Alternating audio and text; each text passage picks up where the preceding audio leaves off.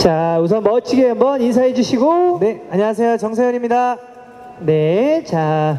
다른 분들은 여러 명 있어서 네, 포즈가 네, 많았는데 우리 정세윤 씨도 여러 명처럼 많은 포즈 부탁드리겠습니다. 네, 역시 잘하시네요. 네. 네. 자, 오른쪽 한번 봐 주시고 네. 자, 이번에 왼쪽. 네. 네, 그리고 네, 손 어, 얼굴에 손을 좀 느낌, 네, 좋은 느낌, 네, 예쁜 느낌, 네.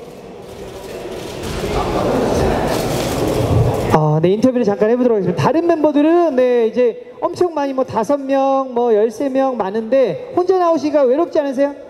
어, 조금 그렇긴 하네요. 네, 조금 이럴 때 살짝 외롭긴 한데 괜찮습니다. 네, 정신 괜찮고요.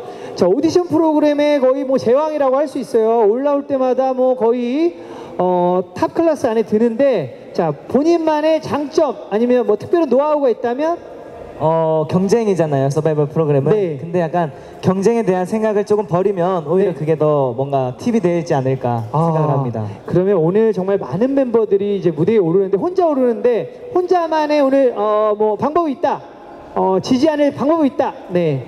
어, 그래도 오늘 이제 선선한, 선선한 바람과 함께 좀 네. 뭔가 선선한 그런 무대와 좀 즐거운 무대를 네. 또 보여드릴 수 있도록 네. 노력하겠습니다. 네, 혼자지만 꽉 채우는 네, 무대를 또 만들어 주신다고 했으니까요. 네, 마지막으로 인사하시고 핸드 프린팅 장소로 이동해 주시면 감사하겠습니다. 네, 감사합니다. 정세운이었습니다.